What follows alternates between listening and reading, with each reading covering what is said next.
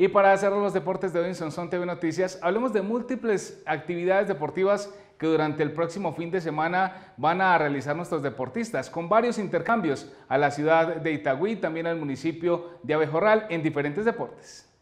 La Dirección de Deportes Municipal prepara múltiples eventos deportivos en próximos días. Una visita al municipio de Itagüí con el semillero de bicicross el 4 de julio y un intercambio deportivo en el municipio de Abejorral el 5 de julio en fútbol sala, voleibol y fútbol.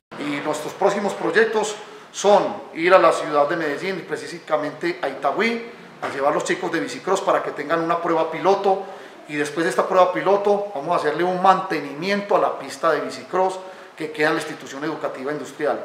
Todo esto apostándole al deporte sonsoneño, pero ahí no para. El día 5 de julio y 4 de julio tenemos encuentros fuera del municipio.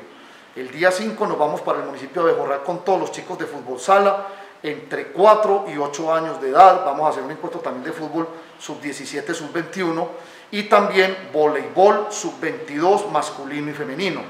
Con esto son, son demuestra que está traspasando fronteras y representando muy nuestros deportistas, representando con holgura al municipio de Sonsón. Frente a esta integración territorial, también sobresale lo realizado en días pasados en la región del Magdalena Medio Sonsoneño, donde se impactó positivamente en infraestructura y cobertura deportiva. Claro que sí, tuvimos la fortuna de ir eh, en estos días al Magdalena Medio, a nuestros tres corregimientos, La Danta, San Miguel, Jerusalén, llevando implementación deportiva, capacitación, uniformes, y mirando los escenarios deportivos. Ya quedamos eh, comprometidos con unos techos para la cancha de la Danta, eh, con un tema de unos aros para Jerusalén y en San Miguel eh, una reparación de una cancha. Así es que se interviene desde la Dirección Técnica de Deportes, obviamente con la Alcaldía Municipal de Sonsón. El próximo 3 de julio también iniciará el torneo de fútbol de salón Mirador del Arma, que se realizará en la placa deportiva de Tapete. El torneo tiene sus inscripciones abiertas en categoría libre tanto en femenino como en masculino. Mayor información en la Dirección de Deportes.